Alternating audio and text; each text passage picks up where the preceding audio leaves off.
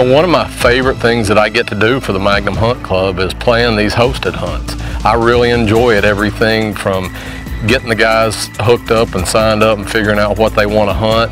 But once we get on site at a place, I really get a kick out of it. When the guys are coming in and they've had success and they see firsthand what I've been telling them for six months or a year was going to happen on their trip, it's fulfilling for me that I got to help make their dreams come true. And hey, let's face it, it's not all bad because I'm out there hunting with them. And when I started looking at putting a dangerous game hosted hunt together, I picked Mozambique and Kambako safaris, number one, because of the area. I mean, Niassa is as wild as it gets.